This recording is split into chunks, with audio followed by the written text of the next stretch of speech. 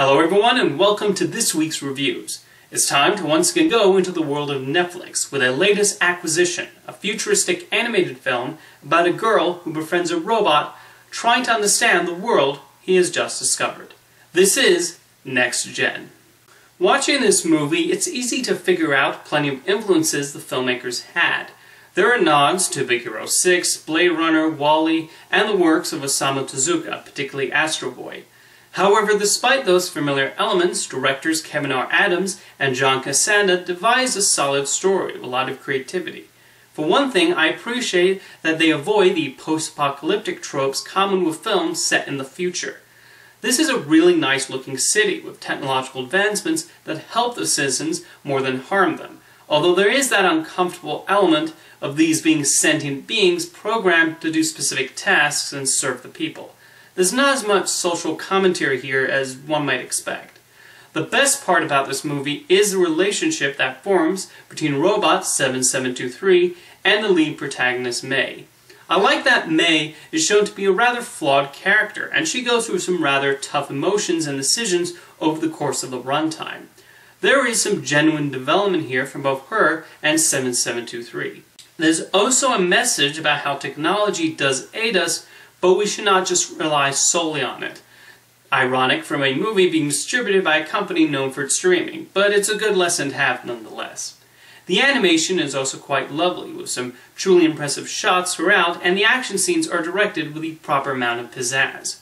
While there is a familiarity to Next Gen, there are still some twists to the story, and it's not afraid of having major stakes that affect the characters emotionally.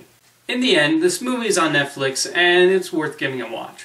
Netflix is investing quite heavily in animation, and if their films continue to be of this quality, we're in for some real treats in the future.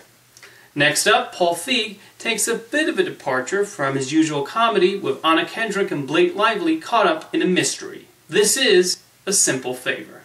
Feig seems to become known for his improvisation-heavy comedies in recent years, and while some of his trademarks show up in A Simple Favor, it nonetheless provides something slightly different. This movie is essentially two halves. One is about the growing friendship that forms between Kendrick's perky mother Stephanie and Lively's mysterious model Emily. A lot of early scenes involve them just chatting, and it's genuinely engaging. It also works due to the contrast of Kendrick's sunny personality hanging out with this woman who is anything but.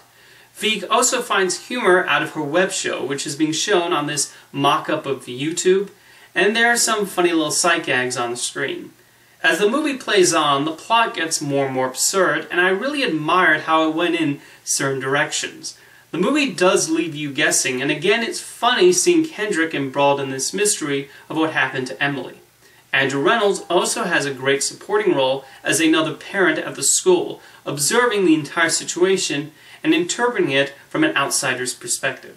A simple favor does run into a frequent trap I do find with Paul Feig films, and that is about 20 minutes too long. For some reason, you really start to feel the length of his movies upon entering the third act. I still really enjoyed where the movie went, but the editing could have used some snipping here and there.